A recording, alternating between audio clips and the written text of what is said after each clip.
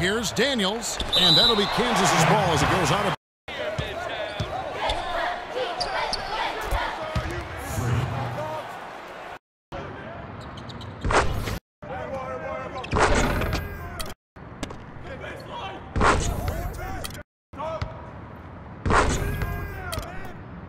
right now, playing and scoring with confidence. Got that bucket in in time at all. Head side. Wing shot on the way. Count it. Terrific run